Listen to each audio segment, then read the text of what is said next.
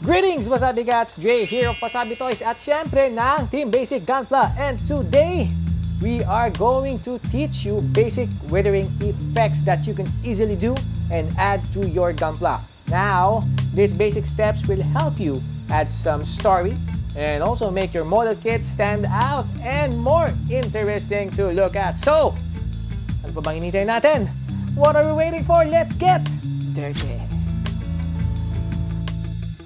Siyempre, before we begin, a little kwento muna kung paano ako natutong mag-weathering at mag-add ng detail sa kit. So before kasi, uh, for me, it's just for fun. Gusto ko lang siyang subukan, gusto ko lang siyang, gusto ko lang siyang gawin dahil nga maraming gumagawa na itong mga modelers din. But, ang problem sa akin noon ay shotgun approach ko.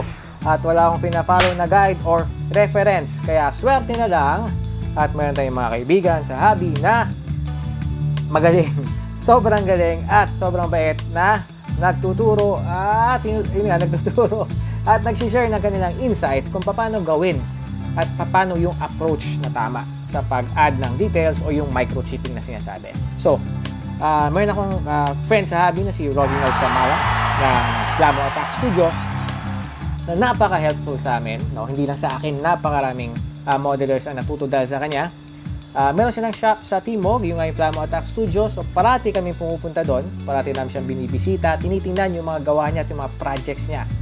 Um, luckily, merong time, may times kasi na uh, may mga projects siyang uh, for uh, commission works na ginagawa at pinapanood namin siya on how he does it and how he do it.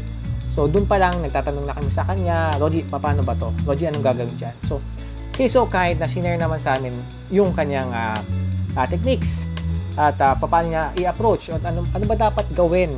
Ano ba dapat yung mga logic on placement ng mga effects na sinasabi? So dahil doon natuto kami um, paano gawin ng tama? Eh, hindi ko masasabing puro tama yung ginagawa ko dahil most of the time mali din talaga. Uh, but it would help a lot if meron kayong reference talaga at guides na pinapanood. Napakarami sa YouTube. Um, number one naging reference ko is yung mga construction vehicles. And mga kotse uh, pag nagda-drive ako, may nakikita akong may bangga, I took pictures. I take pictures, no? Ginagawa ko siyang reference, piniprint ko.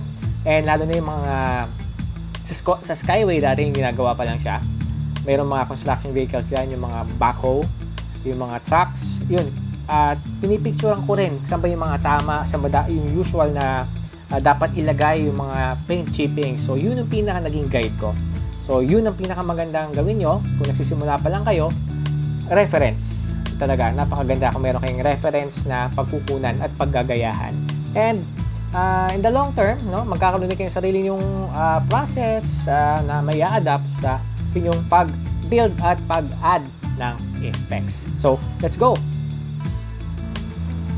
Okay, now what are the things that we need or the tools that we need para makapag-wedding tayo? Siyempre, ang pinakakailangan natin is yung kit. So for this uh, video, gagamit, gagamitin natin is yung shield ni RX-78 Beyond Global 1 is to 144. So I'm um, not sure if you can see this. Teka, zoom natin na konti. Uh, the shield has already been painted and you can see medyo ano siya uh, slightly slightly uh, pre-shaded uh, medyo, medyo subtle lang kasi hindi talaga ako fan ng hard shaded unless it is for a diorama in which na maging uh, maha-highlight kasi yung damage doon sa mga placement yun ng weathering effects or yung mga chipping, yung mga damage, yung mga streaking. So, importante yung um, pre-shade. importante talaga na pre-shaded yung kit nyo kasi uh, mas gaganda yung pag-blend ng yun nga, ng mga effects sa mismong kit. So, again, uh, this is already top coated with lacquer. Now, bakit lacquer? Bakit ba ako nag-top coat ng lacquer? Kasi sa mga first time kasi na mag uh, chipping, siyempre, prone talaga tayo mag kamali. At minsan, gusto nating ulitin. So, kaya, kaya tayo gagamit ng enamel na paint. Kasi pag itong ginamit nyo over lacquer, pwede nyo burahin. Yan, nagkamali kayo ng placement ng lagay, gamit lang kayo ng enamel thinner or ng lighter fluid. ay uh, use uh, Zippo, pero pwede, maski yung local lang na kulay pula, pwede din yun. Ah, konti na lang pala to. So, Yan, nagkamali kayo ng lagay. Ayun nyo, gusto nyo ulitin. You could just erase it with uh, lighter fluid. And of course, gamit kayo ng cotton swabs. Yan. I got this from Francis uh, Raymond Tang. PM nyo siya if you need uh, applicator sticks or um, swab, cotton swabs. Yan. Or you, you, or you could just use the regular cotton swabs that you could buy sa mga groceries natin. Anyway, mas gusto ko kasi to dahil um, yung kanyang cotton is mas siksik. So, hindi naghiwalay masyado. Ayun, so let's go back. Now, uh, for the paint chipping, so dito muna tayo sa paint chipping. Stage 1 muna tayo. Uh, where do you place it ba? Sa shield? O sa, sa kit mismo? So, logically kasi, um, you have to place it uh, on the corners kung saan madalas tamaan or magasgas. Uh, like this one. Uh, the shield is uh, quadrado. So, I have to place it on the sides, sa front. Ito ya, also consider yung level ng chipping na gusto nyong gawin. Kung sakali is um, yung theme or diorama nyo is um, laban or battle damage talaga, so pwede yung damihan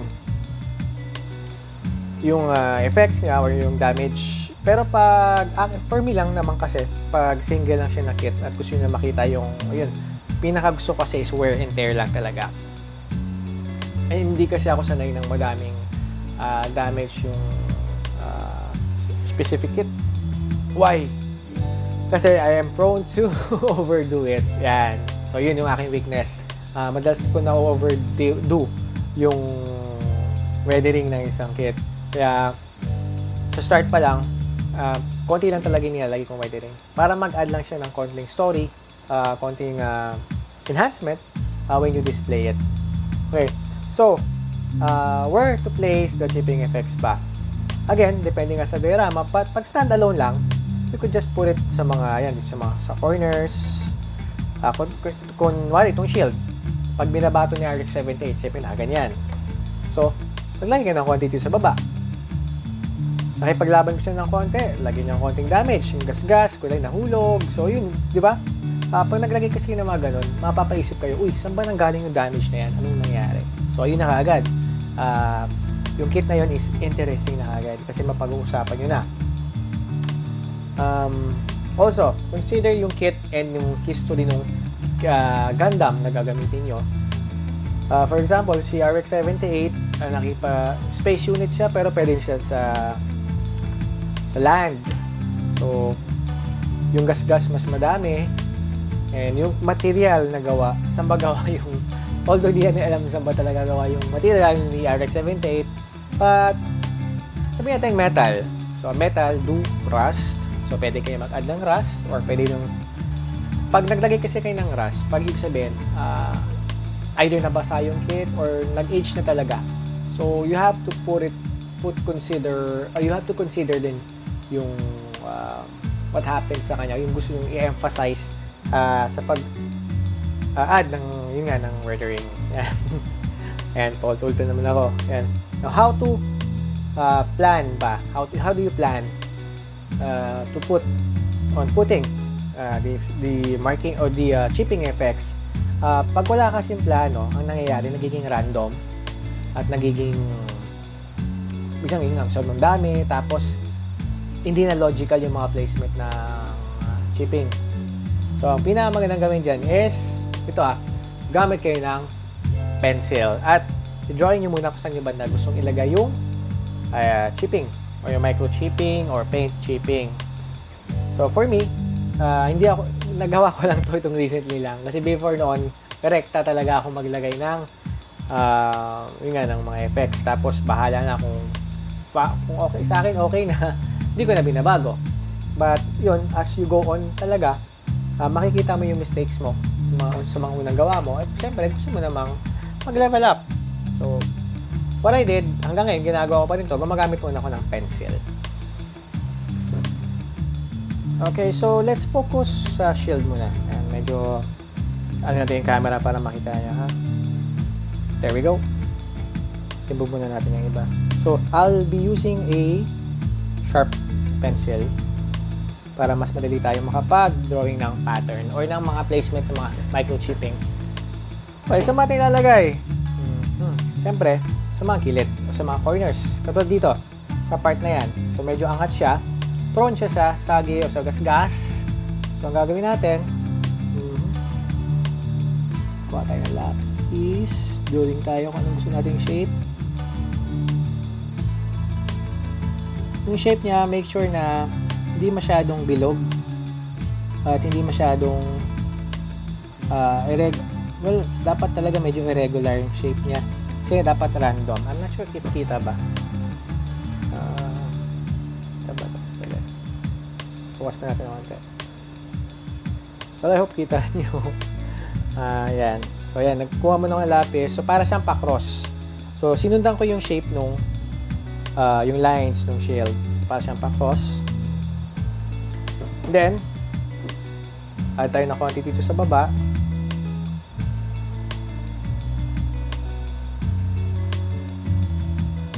Make sure na hindi kayo gagawa nung parang gawit ako ng ano ah, ng paper.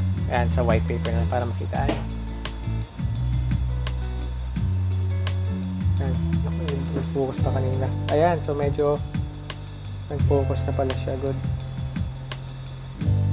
Ayan, lock natin yung focus. So there we go. Mm-hmm. Ayan. Tapos pag sa white part, ganun din. Uh, kunyari, ito, continuation dito, ano? Ng konting... Ayan. So may konting...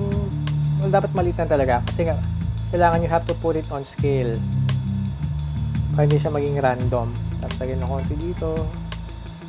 Mahaba. Konti ulit. Then, uh, ayan, dito mo tayo sa side na to.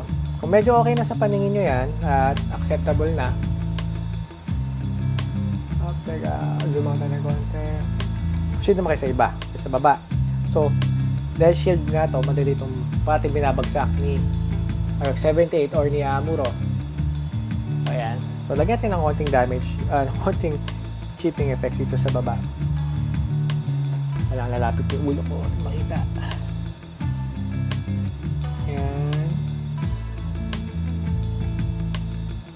So, kung mapapansin nyo, pina-follow ko talaga yung line. Kasi doon kasi angat yung damage or yung, yung effects. Mo na kayo dito sa kabila. So, habaan natin kasi nga parati siyang binababa. At na gagas. Gas.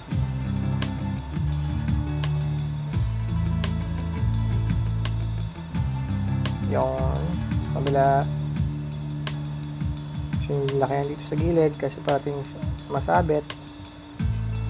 Yan, depende na sa inyo yan. Ano yun dito? Ha? Wala. Baga, magde-depend kasi talaga to kung ano yung gusto nyo ipakita. Matagal na ba siya? Wear and tear lang? So, yan. So, as it is, pero mukhang okay na nga eh. Kasi, pero lapis lang yan. Pero since gray kasi yung lapis, uh, magandang substitute din talaga to.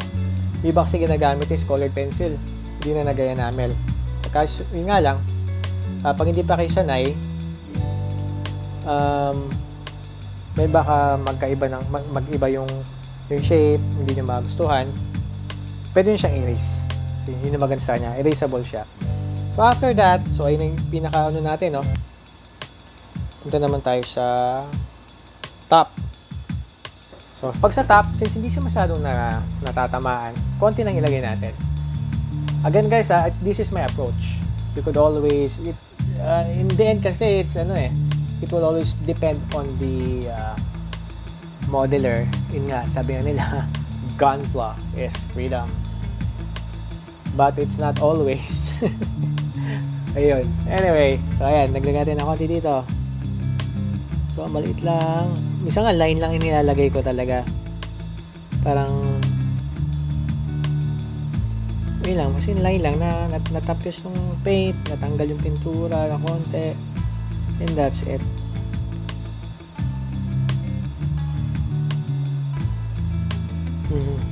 and then minsan iniiwan ko na mismo yung lapis dyan kasi top coat ko na lang kasi ganda talaga gamitin ng pencil pag sa white uh, pero syempre pag sa mga ibang color na yung malapit na color din ang gagamitin natin sa kanya.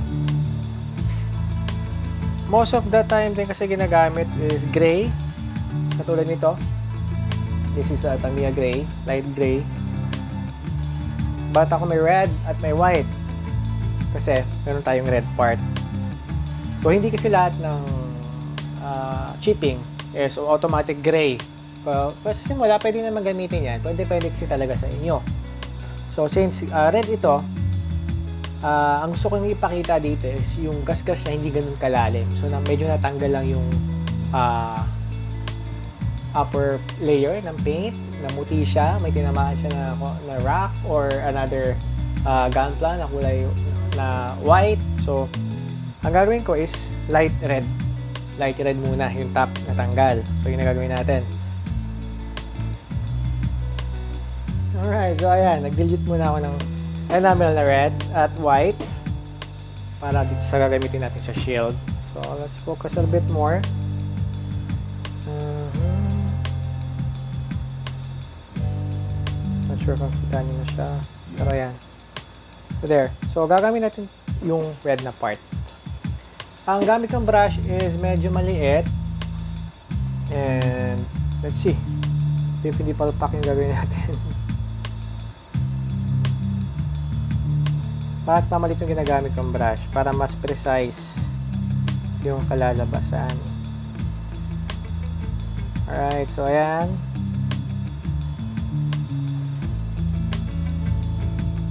Yung pattern kanina, susundan lang kasi natin yan.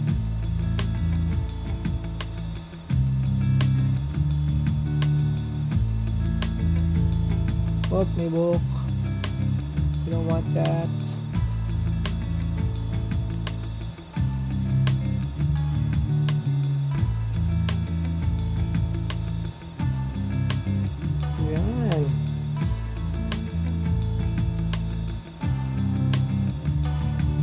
sa gitna make sure na okay yung uh, shape niya At hindi siya magmumukhang uh, bilog masyado no? ayan nagturo sa akin si Roji masyadong bilog tultan mo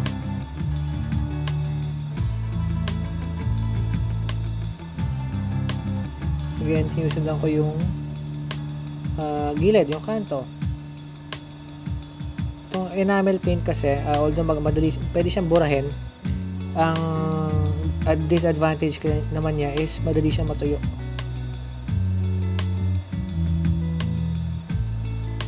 There we go. Not sure. Kita niya. Ayan. So, yun yung ginamit, ginamit sa red. Light, mas light na color kaysa dun sa base na paint. And dagdagan pa natin ang konting enamel thinner para mag ma-dilute pa more kasi madali nga siyang matuyo so yun yung problema sa kanya hmm, maraming magagalit ito inaano ko daw yung brush so ayan so dagdag natin ng konti sa baba kanina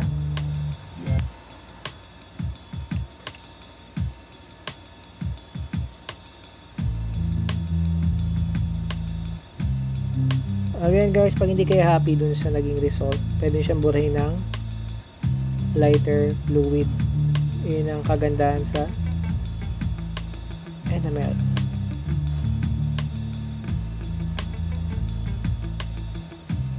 Medyo naging bilog, pabain nyo lang.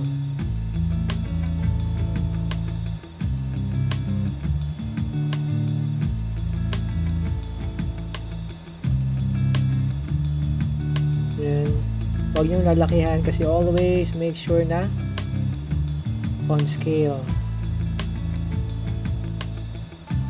Sa kit, yan, medyo naging bilog na siya. Pabulin natin. Yan, there we go. Tayo sa baba. Yan, medyo lumaki.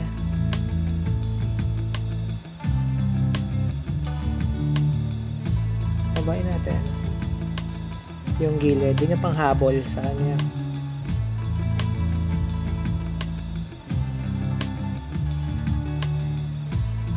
Kung medyo malabo sa video, don't worry. Gagawa ko ng photo mamaya. Para magagawa ng picture para makita niya. Nahirapan kasi ako sa baba ng camera.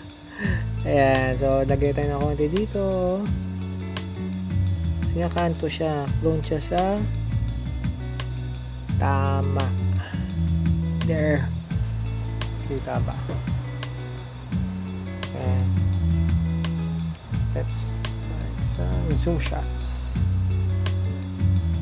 Yun. So, dito ko siya nilagay. Sa part na yan. Ito kita nyo naman dito. Ayun. So, parang siyang pa-cross.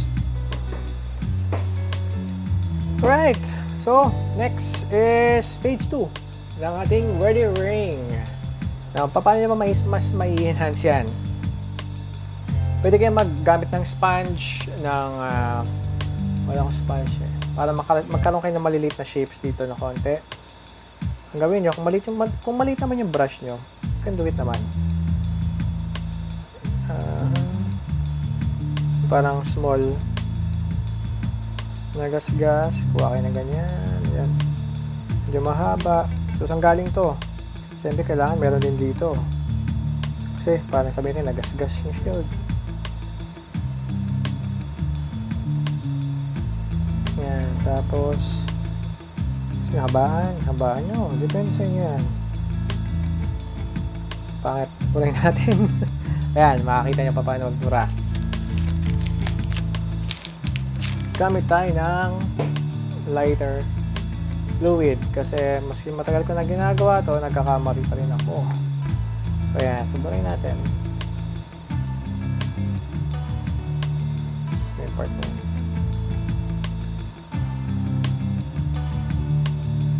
yan It's easy as that. Wala na siya so yun yung kagandahan ng uh, enamel. Kung mag ano kayo mag uh, add ng microchipping. Pwede siyang burahin. Dagdagan pa rin ng konti dito no?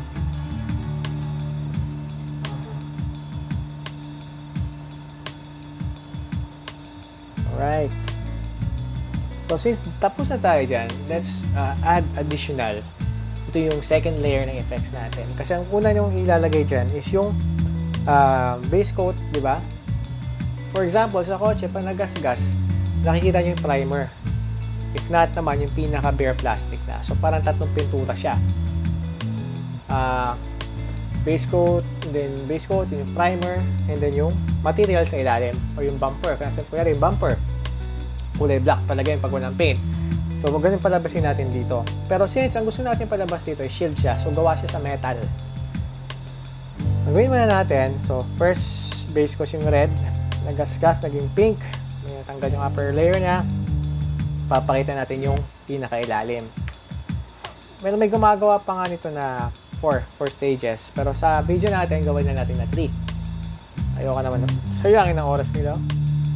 Uh, you could use enamel pa rin or a light gray para pakita na primer siya.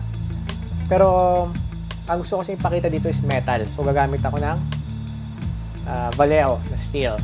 So, shake natin ng konti. Sana meron pa.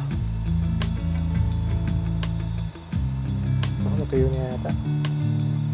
Oh, meron pa. Yun. Medyo malapot. But that's okay. Okay lang yan. Ito, wala nang burahan to. Because this is la, uh, acrylic. No, ang bali kasi is acrylic. Pero medyo sinsanay na tayo, uh, yun siya yung gagamitin natin.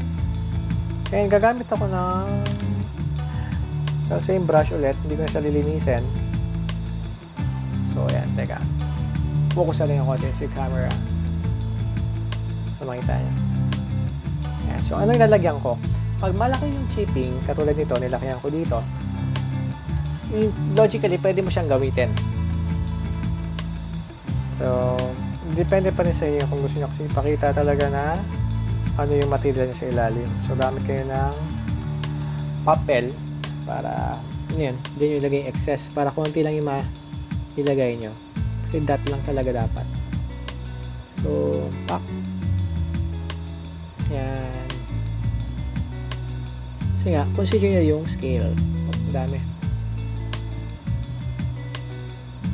huwag nyo siyang ipahid ayan so para siya may bakal sa ilalim na makita. Again guys, uh, this is my approach. Uh, feel free to uh, experiment. Kita natin ulo ko sa camera. Sorry kung nakita ulo ko ha. Kung makita eh. Yan.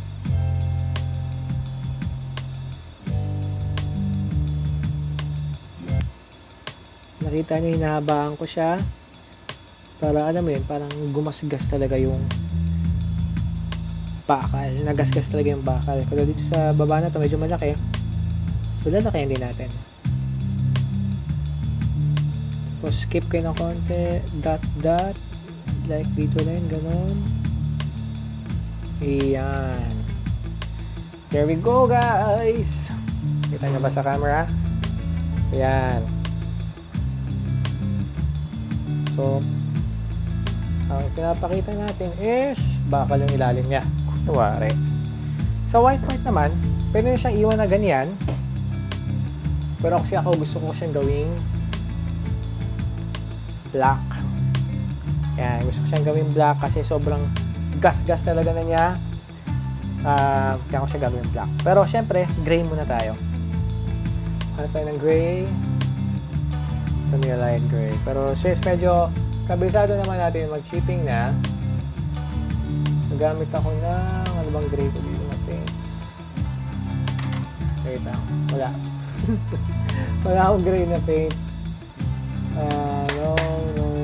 Oh, primer. Pwede akong gumamit ng primer. Gray primer. Yan. So, ang gray primer na ginagamit ko ay Modo Gray. Ito lang. Shake natin.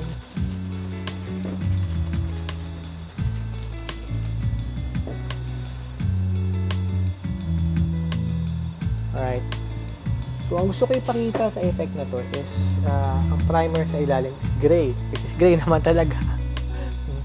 But for the sake na kunwari, eh, lumabas yung primer niya. Kaya sa sobrang uh, kakabagsak ni RX-78. So, ito medyo linisin na natin to. Para maganda yung pagkalagay natin ng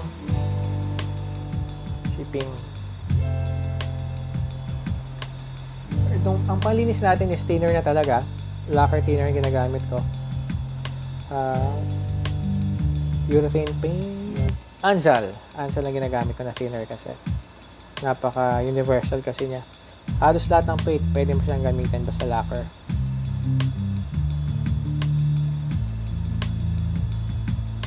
Pati yung acrylic na Vallejo, tanggal niya.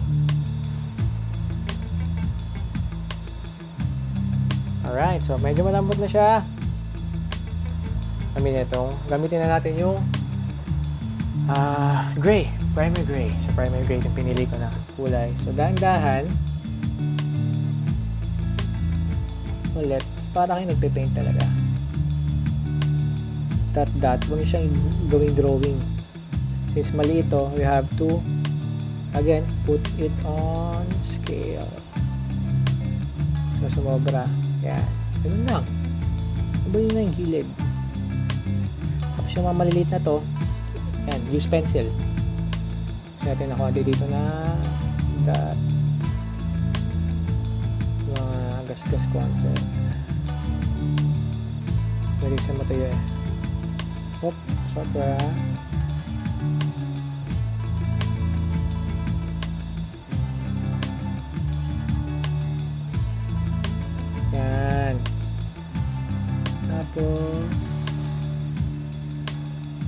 Lapis pwede na rin eh. Mga ba't ba ako nagpapakirap?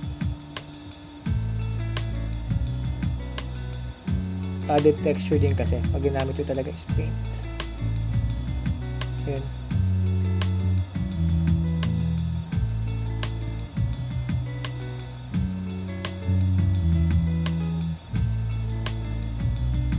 Yan. So, gray na gray na siya. Sa mga part dito, either use a pencil or a sponge. Lagyan natin ng konti.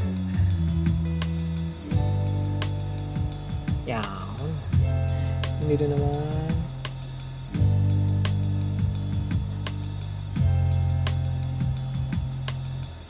There we go. Yan. Kita na ba? Kita ba? Kita. Yan. So, medyo patuyin natin ng konti. Or not. Mas ganyan niya patuyuin. Fast, uh, fast dry naman kasi ang ating uh, modo. Pero parang basa pa nga.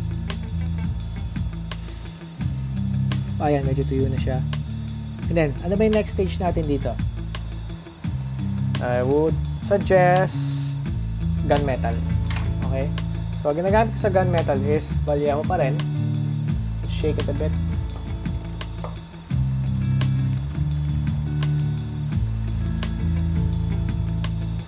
Kung napapansin nyo, dami kong bottle cups. Yan. Huwag nyo itapon. Huwag nyo itapon yung mga bottle cups nyo. So, pwede siyang gawing lalagyan ng paint pag mag-wedding kayo. So, ang dami ako nito. Ipon ko talaga siya. Hindi ko basta-basta pinatapon. Yun. So, gunmetal kasi bakal din yung dating niya. Hindi, hindi siya silver. So, medyo bakal yung dating niya. But, mas preferred ko siya sa mga gilid. O pag kulay white yung uh, paint. Wala lang, preferred ko lang siya ganun. Again, nasa sa inyo yan. So let's uh, let's go with the bottom naman. Let's go to the bottom.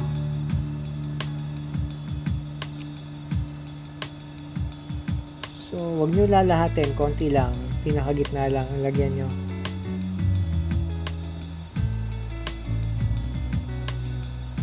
Para yung pinapakita natin is second layer nung part eh, ng ground plano.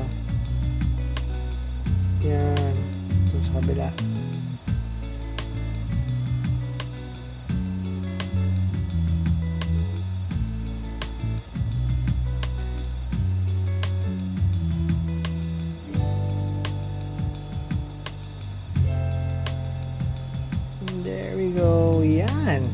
That's it. So, dual layer ng chipping effect. May gray, yung primer, uh, and then yung ilalim, which is yung pinaka-material, yung, natin, pinap, yung pinapakita natin. Then, habulin nyo na lang ng trusty pencil natin, yung dito sa gilid. Para magkaroon ng blending. Yan. That's it. Meron na kayong weathered na weathered the shield. The RX 78. So, it's up to you na kung gusto yung damihan, gusto yung um, dagdagan pa. And sa susunod na video natin, ipapakita ko naman paano maglagay ng rust streaks or yung mga stains. So, kailangan nun, um, pag medyo weathered na talaga siya, na medyo nag-age na yung uh, pinapa, pinapa, gusto natin ipakita na wear and tear, magkakaroon na siya ng discoloration. So, yun ang tatakal natin next week. Saturday ulit sa ating uh, Wasabi Toys. uh, Gantla Building Basic na for weathering with microchipping. So, ayan guys. At ito na ang ating finished product or ating finished shield. Uh, medyo dinagdagan ko yung kanyang uh, uh, scratches sa front. So, hindi ganun kadami. Kung mapapansin nyo, uh, yung cross, nilagyan ko rin para kunyari expose yung metal sa loob. At uh, kung anong process yung ginawa ko sa pula, ganun din ginawa ko sa dilaw. Yung nga lang, hindi ko siya nilagyan ng light yellow. So, nirekta ko siya ng parang primer and then yung uh, material sa loob which is uh, steel. Uh, yun yung gusto, gusto natin ipakita. So, depende pa rin sa inyo kung anong gusto nyo sa ilalim. Pwedeng black lang, pwedeng uh, primer lang. But it will always be up to you. So, yun guys. Until next time, kung saan tayo naman ay mag rust, streaking effects at iba pang mga mansya sa shield, susubukan natin. Kaya do not forget to click like and subscribe. Keep safe guys. Keep healthy. Sig Zion. No Gunpla. No lie.